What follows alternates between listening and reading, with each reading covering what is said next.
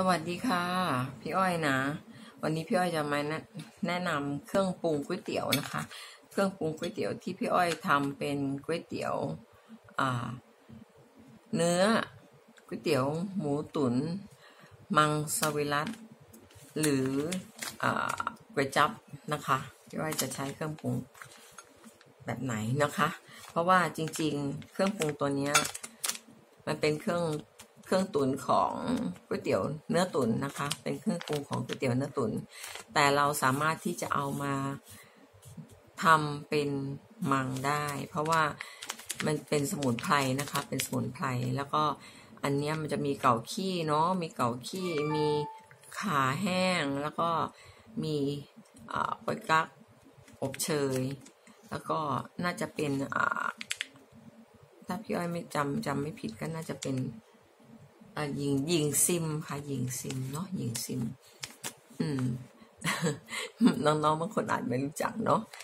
เครื่องปรุงก๋วยเตี๋ยวนี้ห่อละสิบบาทนะคะห่อละสิบบาท มันจะไม่ใช่ห่อเจ้าเจ้าที่พี่อ้อยเคยใช้เนาะพี่อ้อยเปลี่ยนมาใช้เจ้านี้เพราะว่า ของเขาถูกค่ะ ถูกแล้วก็โอเคเลย โอเคเลยค่ะ การปริมาณการใส่เครื่องนี้เท่ากันกับที่พี่อ้อยเคยบอกตอนนั้น แต่อันที่พี่อ้อย พูดตอนนั้นว่าใช้ยี่ห้อนั้น เพราะว่านั่นก็พี่อ้อยไม่ได้ให้ดูยี่ห้อเหมือนกันเนาะแต่เครื่องปรุงเขาใส่ จะน้อยกว่านี้นิดนึงแต่แพงกว่านะคะ อันนี้ไม่แพงค่ะสิบบาทสิบบาทนี่ทำก๋วยเตี๋ยวได้ทำน้ำก๋วยเตี๋ยวได้หนึ่งหม้อนะคะอ่าหม้อหม้อประมาณหม้อเบอร์ยี่สิบหรือหม้อเบอร์ยี่สิบสี่นะคะ ใช้ได้หนึ่งหม้อค่ะ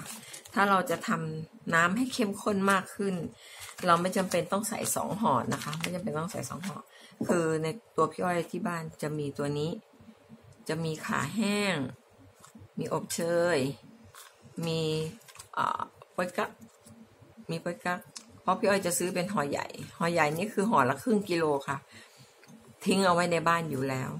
แต่เราจะเอาสะดวก เอาง่าย ๆ เอาสะดวกสบาย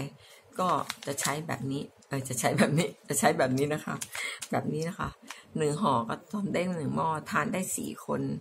สี่คนห้าคนนะคะอ่าแล้วก็ถ้าเราต้องการลดเข้มข้นหรือความหอมมาก ๆ ก็เพิ่มเพิ่มตัวขาตัวอบเชยหรือตัวปวยกักนี่ได้นะคะ แต่ถ้าชอบรสอ่อนๆแบบไม่ต้องเข้มข้นมากอะไรมากก็หนึ่งห่อค่ะหนึ่งห่อพอนะคะ แล้วก็จะไปเพิ่มพวก ตัวนี้นะคะ ตัวนี้คือพริกหอม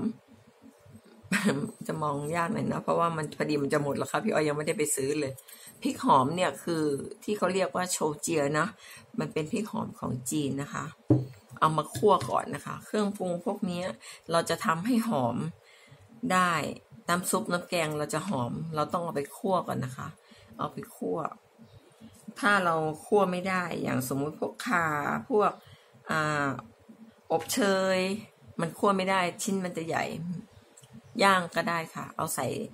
เตาย่างก็ได้ ย่างเอา แต่ว่าตัวเบอร์กักเนี่ยก็คั่วเอานะคะ คือจริงๆแล้วถ้าเป็นพวกก๋วยเตี๋ยวเรือก๋วยเตี๋ยวน้ำพวกหมูตุนเนื้อตุ๋นอะไรแบบนี้ค่ะ คือเครื่องปรุงเขาอะบางเจ้าก็เยอะนะคะ บางเจ้าก็เยอะกว่านี้เนาะแต่พี่อ้อยพี่อ้อยที่ที่พี่สาวทำขายก็คือมียี่สิบ ยี่สิบชนิดนะคะ เครื่องปรุงยี่สิบชนิด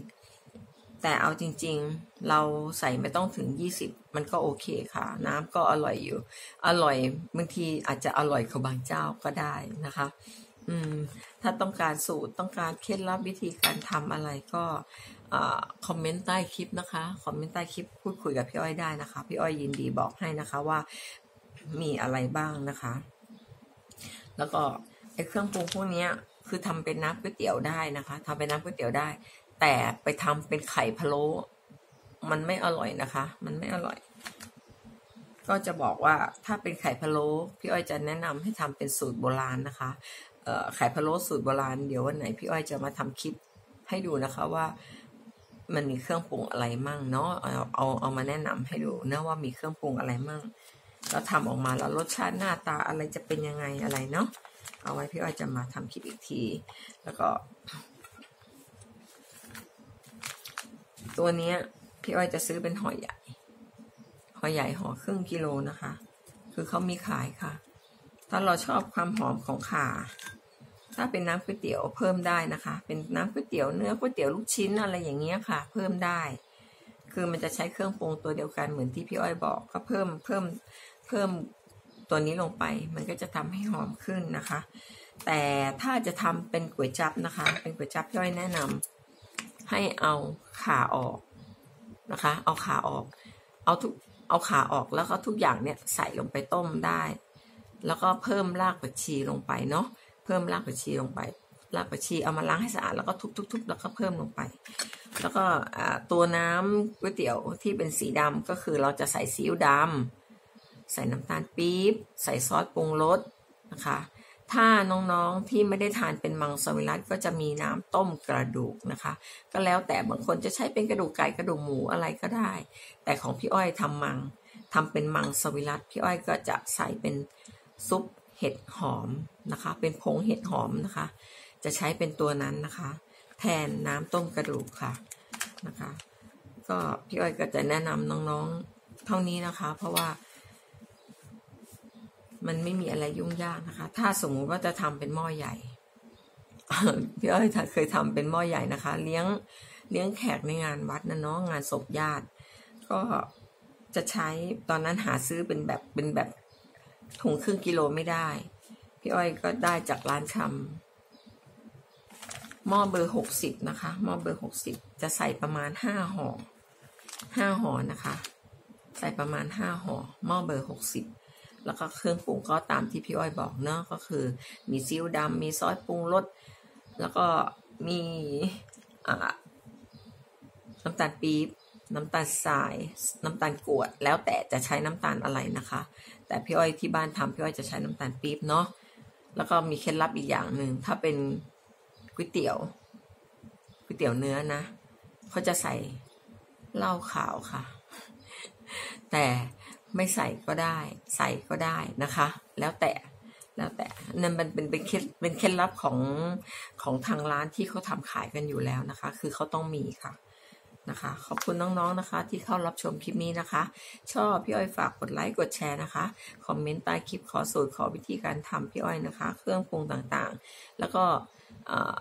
กด subscribe กดไลค์กดแชร์ เป็นกำลังใจให้กันนะคะ ขอบคุณมาก ๆ เลยค่ะ ขอบคุณค่ะ